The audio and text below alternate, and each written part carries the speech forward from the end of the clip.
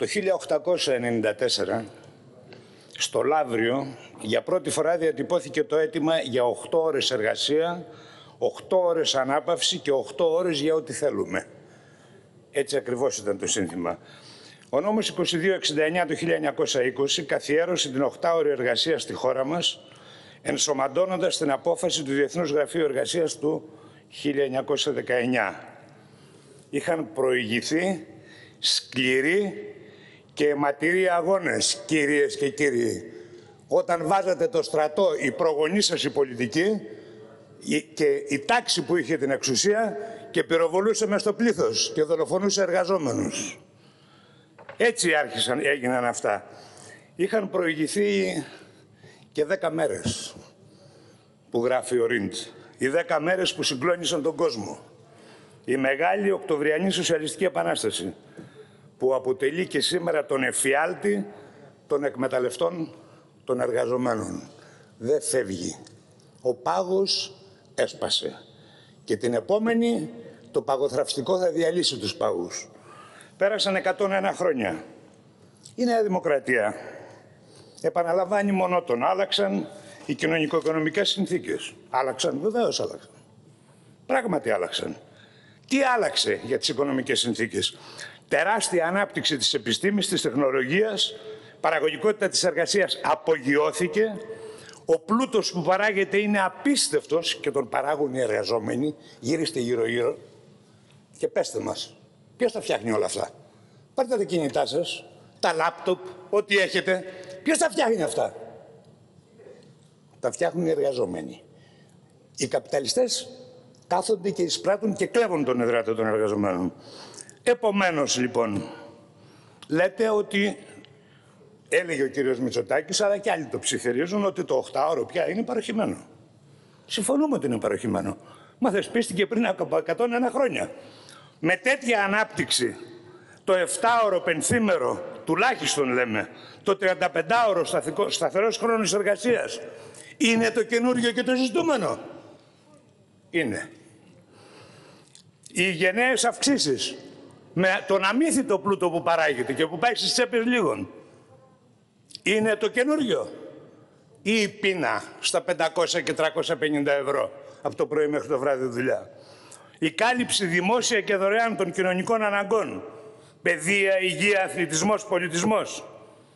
Είναι ή δεν είναι αυτό που πρέπει να γίνει; Είναι πρόοδος για την ανθρωπότητα αυτό ή οπισθοδρόμηση; Εδώ λοιπόν αντιστρέφονται οι ρόλοι. Αυτά υποστηρίζουμε εμείς. Είναι οπισθοδρόμηση. Και τι είναι το μπροστά, 12ωρο. Τι είναι το μπροστά, μην μας λέτε τέτοια τώρα και αρχίσω από τώρα.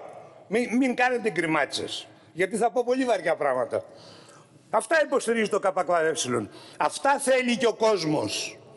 Είτε το λέει, είτε το σκέφτεται, ανεξάρτητα το τι ψηφίζει και γιατί δεν βάζει πλώρη για να τα κάνει; Ποιος το εμποδίζει αλήθεια; Γιατί δεν γίνονται όλα αυτά; Αφού υπάρχει αυτός ο αμύθιτος πλούτος και όλα όσα είπα προηγούμενα τα εμποδίζουν εκείνοι που ληστεύουν τον πλούτο που παράγουν οι εργαζόμενοι. Τα παράσιτα της κοινωνίας. Αυτοί που στο σύνολο του παγκόσμιου πληθυσμού είναι 10% σαν φυσικά πρόσωπα. Είναι μια ισχνή μειοψηφία, βρικόλακες, ζόμπι, που ρουφάνε κυριολεκτικά αυτό που παράγουν οι εργαζόμενοι. Αλλά οικονομικά όμως το 10% κατέχει το 70% του παγκόσμιου ΑΕΠ. Του παγκόσμιου πλούτου δηλαδή που παράγουν οι εργαζόμενοι. Κατά αναλογία και στην Ελλάδα. Αυτός είναι ο καπιταλισμός. Με νούμερα. Αυτοί λοιπόν έγραψαν, ή μάλλον υπαγόρευσαν και το νομοσχέδιό σας, το οποίο έχει και ιστορία. Έχει ιστορία διαχρονικά. Λευκή βίβλος. Ζήτω το Πασόκ. Ζήτω η Νέα Δημοκρατία μαύρη. Κατράμι ήτανε ούτε μαύρη ούτε άσπρη ο ΣΥΡΙΖΑ. Και τους εργοδότες βοηθάει και τους εργαζόμενους. Μόνο που το γράψε ο Σύνδεσμος Βιομηχάνων της, Ευ... της Ευρωπαϊκής Ένωσης. Δεύτερο, να πω, οδηγία Φραγκεστάιν, 88 του 2003 και έκθεση Σέρκας που ξεχυλίζουν από πρόοδο. Εκπληκτικό. Που τις ψηφίσανε. Εκτός ΚΚΕ. Ή στάθηκαν με το λευκό. Τίτλος «Διευθέτηση του χρόνου εργασίας». Ωραίο, ε. Τι σημαίνει διευθέτηση του χρόνου εργασίας; Σημαίνει κατάργηση του σταθερού χρόνου εργασίας. Δηλαδή κατάργηση και του σταθερού ημερήσιου χρόνου ανάπαυσης. Αυτό δεν σημαίνει η ευελιξία που λέτε. Ότι ξεχάστε το σταθερό ωράριο, ξεχάστε αυτά που ξέρετε τώρα στο ζυγό από το πρωί μέχρι το βράδυ. Τι άλλο λέει αυτό το τέρας, μέχρι 13 ώρες δουλειά, μέχρι 78 ώρες την εβδομάδα, 12 συνεχείς μέρες, χωρίς ανάπαυση. Αυτό είναι η πρόοδος. Κάθε δεν τρέπεστε. Δεν τρέπεστε. Τι ξεφτύλα είναι αυτή. 78 ώρες τη θα πάτε να δουλέψετε εσείς. Θα σας πάρουμε μια φορά να έρθουν και να σας βάλουμε με στη Λάρκο. Να δουλέψετε μια εβδομάδα 78 ώρες. Οι μισοί θα πεθάνετε. Μόνο και μόνο από αυτά που θα αναπνέετε και από, και από τα αυτά που θα βλέπετε. Να πάτε στα καράβια που οξυγονοκολούν στο τρίτο αμπάρι. Να ανεβείτε να καλουπώσετε στον 7ο όροφο. Και να δουλεύετε 78 ώρες τη βδομάδα να δούμε τι καλά που θα περάσετε. Αυτή είναι η πρόοδος του καπιταλισμού, της Νέας Δημοκρατίας και άλλων που υποστηρίζουν το σύστημα. Και, για σκεφτείτε, πού είναι ο Μπογδάνος, έφυγε, μάλιστα. Για σκεφτείτε, το διάλειμμα δεν αποτελεί χρόνο εργασίας. Έφυγε ο κύριος Χατζηδάκης, είναι εδώ υπουργός. Είναι σωστό αυτό ή όχι, ότι δεν αποτελεί; Το λέει το νομοσχέδιο ή όχι; Πέστε μου τώρα, απαντήστε. Όχι; Όχι. Πού είναι ο Μπογδάνος να μου δώσει το κατοστάρικο; Διαβάζω. Άρθρο 56. Όταν ο χρόνος ημερήσιας υπερβαίνει κλπ. Το διάλειμμα αυτό δεν αποτελεί χρόνο εργασίας και δεν επιτρέπεται να χορηγείται συνεχόμενο με την έναρξη τη λήξη της ημερήσιας εργασίας. Από ένα τέταρτο ως 30 λεπτά. Πάρ' το. Η, η Υπουργός λέει ότι λέω ψέματα. Πες της να βγάλει το κατοστάρικο να κόψουν κανένα κουπόνι για το κουκουέ. Μια και βάζεις τέτοια θέματα. Το λέω για να ξέρετε τι λέτε. Γιατί δεν τα έχετε διαβάσει. Ναι, αλλά είναι 50 δύο, αλλά έχουμε και το κατοστάρικο. Κυρίως είναι 5 ευρώ βέβαια. Δεν έχουμε εμείς άλλες πηγές. Αυτοί λοιπόν το έγραψαν. Αυτή η οδηγία είναι τέρας. Είναι επιστροφή στο 1900. Και αυτό το λέτε προσαρμογής στις βέλτιστες πρακτικές, όλοι σας, πλην κουκουέ, της Ευρωπαϊκής Ένωσης. Σαν δεν τρέπεστε. Σαν δεν βέλτιστες πρακτικές. Βέλτιστες πρακτικές να δουλεύεις από ήλιο σε ήλιο. Και μάλιστα ο απόγειος της υποκρισίας είναι ότι το ζητάει ο εργαζόμενος. Τι λέτε μωρέ τώρα, πού ζείτε; Ζητάει ο εργαζόμενος να δουλεύει 12 ώρες για να πάρει 4, τέσσερις μέρες απλήρωτο ρεπό, ρεπό, να μην πληρώνονται οι υπερορίες. Και ξέρετε, είναι στο 1900. Τι λέει ένα δημοτικό τραγούδι εκείνης της εποχής; Ήλιε μου γιατί άργησες να πας να βασιλέψεις; Σε βλαστημά η εργατιά, σε καταργέται ο κάμπος. Εσάς λοιπόν σας βλαστημάει όλη η εργατιά. Μην κοιτάτε που δεν φαίνεται. Άλλωστε φαίνεται και στις δημοσκοπήσεις. Αυτή είναι η πρόοδος. Αυτά ζητάει ο καπιταλισμός σήμερα. Αυτό είναι το σύστημά σας. Περισσότερη δουλειά, εξόντιση των εργαζομένων, λιγότερη αμοιβή. Γιατί; Για να αυξηθούν τα κέρδη. Γιατί το μέσο ποσοστό κέρδους πέφτει, γιατί υπάρχει κρίση. Γιατί για να επενδύσουν θέλουν μεγάλα κέρδη. Και για να βγάλουν μεγάλα κέρδη θέλουν εργαζόμενους με μικρότερους μισθούς. Γιατί τα κέρδη δεν βγαίνουν από τα μηχανήματα. Πάρτε τα και φάτε τα. Δουλεύει μηχάνημα χωρίς εργαζόμενο. Ούτε τα ρομπότ δουλεύουν. Γιατί άμα χαλάσει κάποιο πρέπει να το επισκευάσει. Γι' αυτό ακριβώς φέρνουν αυτό το τέρας για να εξασφαλίσουν μεγαλύτερα κέρδη. Και έρχεστε εδώ και μας λέτε ότι δεν καταργούμε το 8ωρο. Και δεν δουλεύετε. Στους εργαζόμενους λέτε δεν καταργούμε το 8ωρο, στους βιομήχανους και στους άλλους λέτε ότι κατοχυρώνουμε το 10ωρο. Και μάλιστα, εδώ θα πάρουμε, μάλλον θα κάνουμε οικονομική εξόρμηση σήμερα. Τι λέτε, ότι πληρώνετε από το, 8, από το 10ωρο, πληρώνετε το 2ωρο. Πληρώνετε, πόσο όμως πληρώνετε. Σαν υπερορία ή σαν μέρος του μισθού; Σαν μέρος του μισθού. Πόσα κλέβει ο εργοδότης; Να σας το πω πολύ απλά. Μέσο όρο, για να μην πούμε πολλά, πάνω από 150 ευρώ το μήνα κλέβει. 500 εργαζόμενοι, 1000 εργαζόμενοι, κάντε πολλαπλασιασμό για να δείτε πόσο κλέβει. Και βέβαια, τέρμα όλα όσα ξέρατε. Κυριακάτικη, αργία τέλος. Ωραία, εσείς κάνετε τους χριστιανούς. Εσείς κάνετε μεγάλους σταυρούς. Εσείς που βγαίνετε στην τηλεόραση με πέντε εικόνες από πίσω. Πάτε και κάνετε τέτοιο και φαίνεται και την τηλεόραση. Τι είναι η Κυριακή; Αργία δεν είναι; Και με τον χριστιανισμό. Τώρα τι είναι. 32 ο ΣΥΡΙΖΑ και 35 κλάδι. 35 κλάδι ακόμα, δηλαδή σχεδόν το σύνολο, όλες τις Κυριακές. Κάτι χριστιανοί είστε. Να πάτε στις εκκλησίες και να τα λέτε. Δεν είναι θέμα χριστιανικό βέβαια. Λέω την υποκρισία και αυτές τις παράταξεις αλλά και άλλων. Λέτε ότι εντάξει με το δεκάωρο, αλλά θα το παίρνω όλα, δευτερολογίες, τριτολογίες και λοιπά. Λέτε λοιπόν, όταν το ζητάει ο εργαζόμενος, μπορεί ατομικά, με ατομική σύμβαση εργασίας, να το συζητήσει με τον εργοδότη ή με τα τσιράκια του. Πολύ ωραία. Οι ίδιοι και οι δυο. Ίδια δύναμη. Και ο εργοδότης και ο μοναχ, μοναχός εργάτης. Θα το πω μεταφορικά. Γίνεται διαπραγμάτευση, είναι αντίθετα τα πράγματα βέβαια, του ελέφαντα με το ποντίκι μοναχό του. Δεν θα μαζευτούν χιλιάδες ποντίκια, θα τον κάνουν τον ελέφαντα σκελετό σε, σε μισή μέρα. Οι εργαζόμενοι δεν είναι ποντίκια. Τέτοια ισοτιμία. Καλά, σε ποιο τα λέτε αυτά; Πού ζείτε; Στις βίλες σας. Πού ζείτε; Έχετε πάει σε κανένα εργοστάσιο; Έχετε δει τι γίνεται, τι εκβιασμός. Τι συμβαίνει με την εργοδοσία που έχει ξεσαλώσει έχοντας εκατομμύρια ανέργους απ' έξω και εσάς να φυσάτε τα πανιά; Λέμε λοιπόν, ανεξάρτητα από αυτό, σας λέμε και κάτι ακόμα. Καλά είναι δυνατόν ένας άνθρωπος να δουλεύει 12 και 13 ώρες και μετά από 15-20 μέρες να πάρει 4 ρεπό. Τι να τα κάνει, τα έχει φτύσει. Να το πω έτσι απλά. Ξέρετε τι σημαίνει; 13 ώρες και 12 συν 2 ώρες πήγαινε έλα. Άμα έχεις ένα εργοστάσιο. Ποια οικογένεια; Ποια παιδιά; Τι λέτε τώρα; Δεν θα τα βλέπει ούτε στο ρεπό. Δεν θα μπορεί να τρέξει στους γιατρούς συνέχεια. Παγκόσμιος Οργανισμός Υγείας. Έρευνα.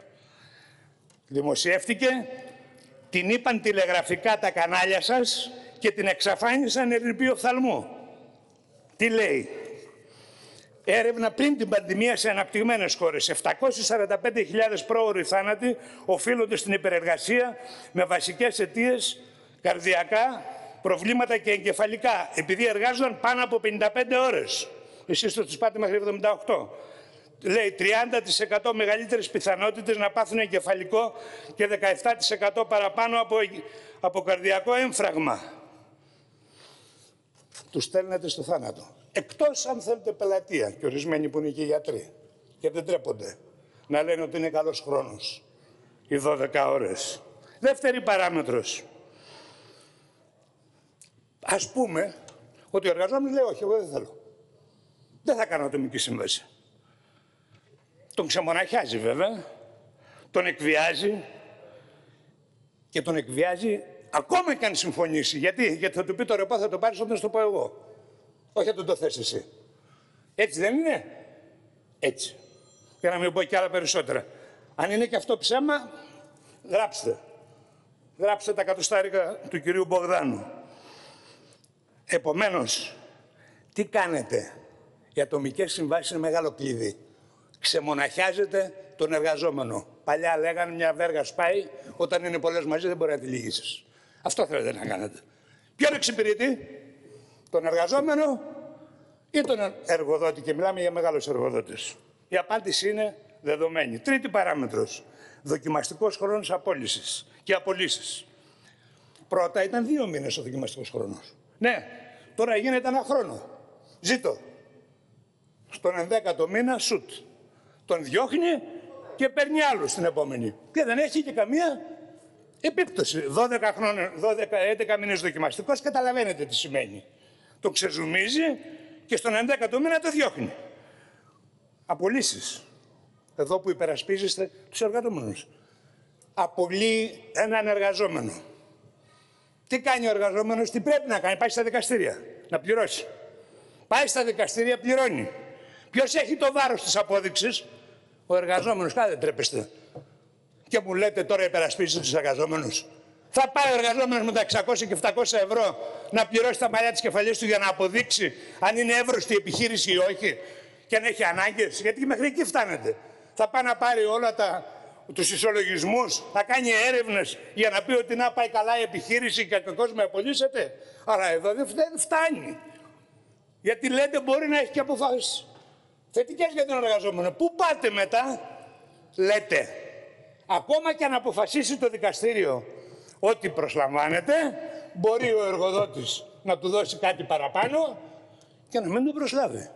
Και μετά μας λέτε για δικαιοσύνη και γιατί εφαρμόζουμε τους νόμους. Μία εσείς, 200 εμείς, γιατί εμείς έχουμε το δίκιο. Εσείς φτιάχνετε νόμο, φτιάχνετε νόμο να ακυρώνει την απόφαση του δικαστηρίου. Αυτό κάνετε και εκβιάζετε έναν απολυμμένο προκειμένου να τρέχει στα δικαστήρια μια ζωή αν πέρα από το ότι του κόβει την περιμήρια κλπ. να δεχθεί ένα συμβιβασμό και να μην τον ξαναπροσλάβει. Είναι αλήθεια αυτό ή όχι; Είναι. Είναι. Δεν απαντάτε. Κύριε Μπογδάνο, προσέξτε. Είναι αλήθεια αυτό ή όχι; Α, ε, με τι να παρακολουθήσει. Ποιον εξυπηρετεί αυτό; Τον εργαζόμενο εξυπηρετεί ή τον εργοδότη; Πάμε παρακάτω. Γιατί λέτε ότι είστε το κόμμα των εργαζομένων; Τέταρτο και φαρμακερό. Πού είναι το πρόβλημα τώρα; Το ζόρι είναι το συνδικαλιστικό κίνημα, το σωματείο. Γιατί εκείνη η δύναμη του εργαζόμενου, έχει τίποτα άλλο. Άρα, τι θα κάνουμε, σχέδιο στρατηγικό, διαβολικό, αλλά δεν είναι το εργατικό κύμα σημερινό, ούτε και εμείς είμαστε. Τι λέτε λοιπόν εσείς, πρώτον ηλεκτρονικό μητρό. Μα λέει. Μα είπε και ο κύριος Ρουσόπουλος. Και λυπάμαι γιατί είναι γενικά από τους πιο μετριοπαθείς. Μα λέει και τι φοβάστε; Μα τι φοβόμαστε; Ρωτάω τον κύριο Βρούτση. Ωραία, ηλεκτρονικό. Θα είναι δημόσιο, ναι, λέει. Αφού είναι στο εργάνι, μπορεί να το βρει ο καθένας. Θα έχει ο εργοδότης μπροστά του τα πάντα. Ναι ή όχι; Ποιος είναι, όπου που είναι, τι προβλήματα έχει, το ένα, το άλλο. Το... Μερικά μπορεί να τα ξέρει. Δεν αμφιβάλλουμε γιατί οι χαφιέδες είναι πολλοί και η εργοδοσία δεν είναι άγγελος του Τσάρλι ή οτιδήποτε άλλο. Λέω και. Επομένως, φακέλωμα γενικό όλων των εργαζομένων. Καλά, σήμερα δεν είναι στα πρωτοδικεία όλα αυτά τα στοιχεία. Δεν μπορεί να τα πάρει η εργοδοσία. Πρέπει να υπάρχει λόγος. Γιατί τα παίρνετε και τα, τα πάτε σε ηλεκτρονικό μητρό; Ακριβώς για να τα παραδώσετε στην εργοδοσία. Δεύτερο, απεργία. Μάλιστα. Τα κόμματα που κυβερνάνε με όχι κάτω από 50, αλλά κάτω από 40% τι, τι έφεραν, έφερε ο ΣΥΡΙΖΑ. 50% συν ένα για να πάρει απόφαση για απεργία. Και εσείς βγαίνετε και κυβερνάτε την Ελλάδα με 40% με 35%. Γιατί δεν βάζετε 50% συν ένα.